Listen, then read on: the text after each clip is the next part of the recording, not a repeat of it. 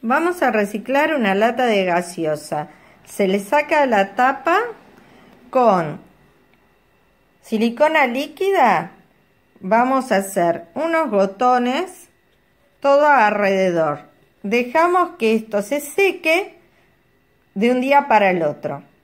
Luego, con pintura o My Choice, color green y una esponja, vamos a pasarle esa pintura alrededor de toda la lata.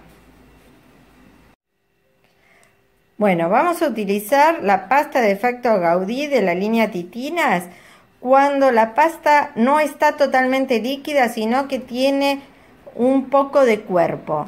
Utilizamos la espátula y vamos a hacer líneas verticales en toda la lata, haciendo como si fuera una especie de cordón.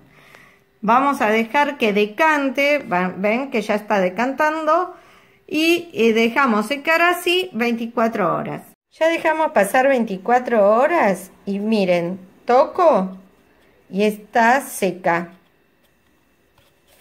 Y nos quedan estas puntitas acá abajo. Ahora voy a volver a colocar el grey todo ponchado. Bueno, ya le dimos una mano más del green. La idea de usar este, la pasta de efecto Gaudí es dar una textura a la lata. Eh, pueden usar la lata para distintos usos. Si quieren puede ser una maceta y entonces pueden llegar a agujerear acá y hacer unas manijitas. Pueden armarla como florero pueden hacer distintas cosas, un portalápices. Para que nos quede este efecto donde vemos eh, en la lata bien el relieve que intentamos hacer con la pasta de efecto Gaudí, vamos a agarrar una esponja y con la Oh metalizada vamos a ponchear todo lo que es la parte de el relieve. Entonces nos va a quedar de esta manera.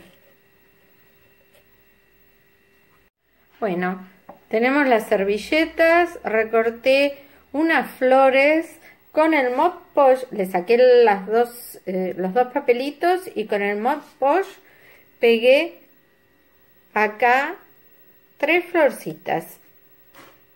¿Sí? Para darle una decoración a la lata. Dejamos que se seque y le damos dos manos de eh, laca al agua. Bueno, por último usamos hilo y silicona líquida.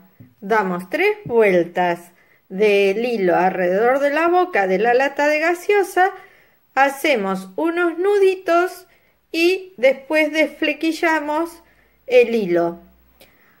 Subiremos después todas las formas de poder usar esta lata.